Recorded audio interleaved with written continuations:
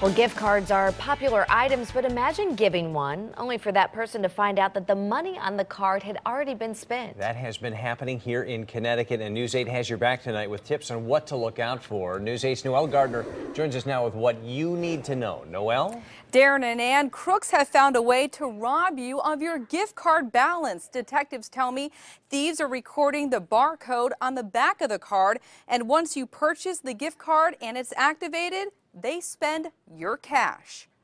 Gift cards are a multi billion dollar business. It's a quick and easy gift to give, but they're also a gift for thieves. What we're trying to do is, is, is, sound the alarm and let people know that when they buy gift cards, they need to understand that there's a little bit of a risk that comes with it. Police say crooks are stealing gift card numbers before you buy them. You see them out in the open, on display racks.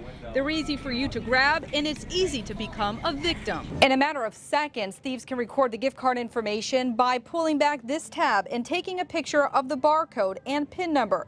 Once that's recorded in the phone, all they have to do is wait until the card is activated to spend your money.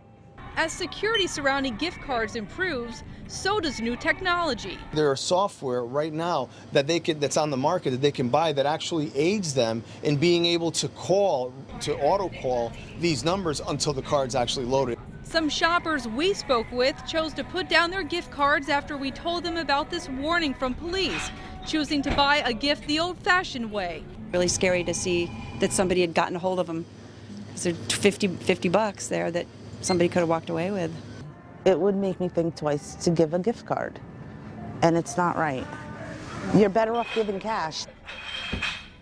Please tell me gift cards are attractive targets for fraud because unlike credit or debit cards, there is no name or bank account attached to them.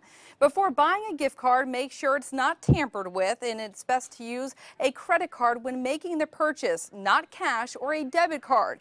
And police tell me stay away from auction sites that sell gift cards.